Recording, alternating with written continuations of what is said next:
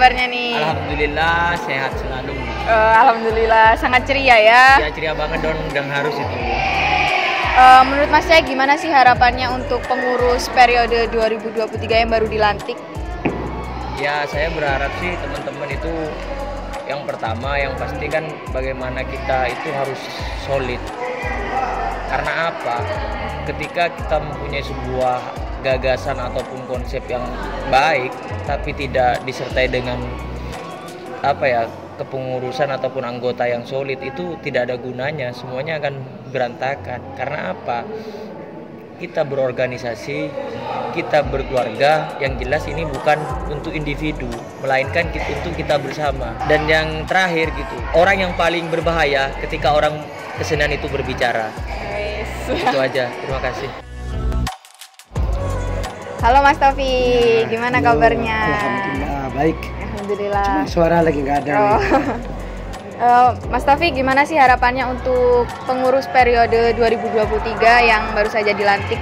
Ya, uh, saya sebagai alumni UKM Sini Nanggala uh, yang juga bagian dari keluarga Nanggala ini sebenarnya juga ikut mensupport setiap tidak hanya pengurusan yang yang sekarang sebelum-sebelumnya juga saya berharap uh, lebih-lebih kepengurusan yang saat ini kekompak kekompakannya yang pertama kompakan karena kalau sudah semua pengurus ini kompak dan uh, sesuai dengan divisinya insya Allah organisasi ini berjalan dengan sesuai dengan mestinya begitu.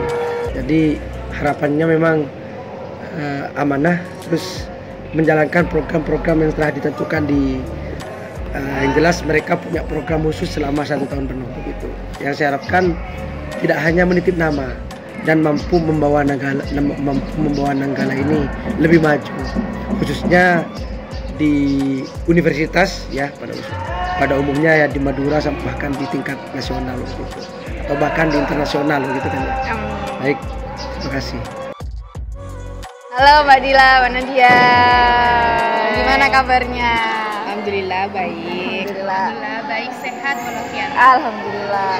Uh, Mbak Dila dan Mbak Nadia selaku pengurus periode 2022, apa nih harapannya untuk pengurus periode 2023 yang baru dilantik? Mungkin dari aku dulu ya. Harapannya semoga lebih solid lagi, semoga lebih bisa berkembang lagi dari segala aspek.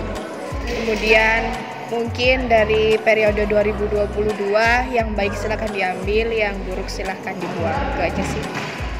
Untuk Mbak Nadia oke mungkin uh, udah disampaikan sama Dila tadi juga.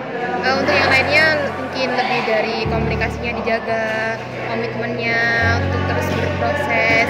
Karena apa ya di balik semua organisasi itu pasti ada prosesnya. Nah di situ juga bisa dilihat kalau kita berprosesnya dengan sungguh-sungguh hasilnya juga akan baik. Nah selain itu juga untuk Nanggala ke depannya, untuk kepengurusan selanjutnya juga agar lebih aktif, kreatif, inovasi dan lebih berprestasi. Semoga pengurus periode 2023 bisa merealisasikan harapan-harapan kakak. Terima kasih untuk pengalaman-pengalamannya. Halo Mas Helmi, gimana kabarnya? Alhamdulillah baik. Alhamdulillah baik. Mas Helmi, gimana sih harapannya untuk pengurus periode 2023 yang baru dilantik ini? Oke, sebagai uh, bagian dari kepengurusan tahun ini, saya berharap banyak pada satu kepengurusan yang mempercayai saya juga sebagai ada di dalamnya untuk membantu dan menjadi uh, menjadi nanti bagian dari berbagai pertimbangan yang akan dipilih. Harapan saya tentu kepada teman-teman pengurus saya minta agar lebih peka.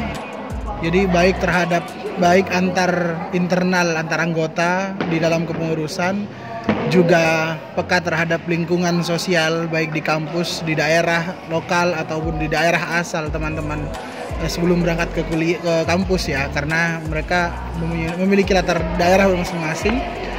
Dan juga peka terhadap permasalahan permasalahan-permasalahan sosial baik itu yang perlu kita perbaiki atau perlu kita ada di dalamnya untuk mendukung atau mengkritik sehingga itu ke depan menjadi nafas teman-teman dalam berproses kesenian baik dalam karya-karyanya baik menata organisasinya baik dalam bentuk eh, manajemen organisasi juga manajemen produksinya teman-teman harus peka dalam banyak hal itu dan saya kira itu harus dimiliki oleh semua pengurus bukan hanya BPH atau bahkan ketua atau bahkan DPO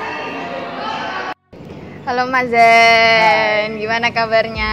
Alhamdulillah. Mas Zen, gimana sih harapan Mas Zen untuk pengurus periode 2023 yang baru dilantik?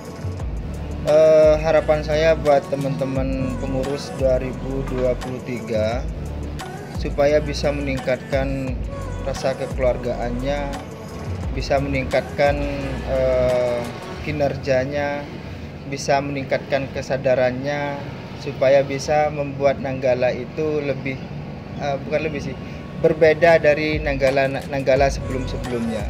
Jadi harapan saya selama satu periode ke depan pengurus ini bisa membawa Nanggala ke perubahan-perubahan yang pesat sehingga menjadi Nanggala yang brilian. Mungkin itu. Amin. Dan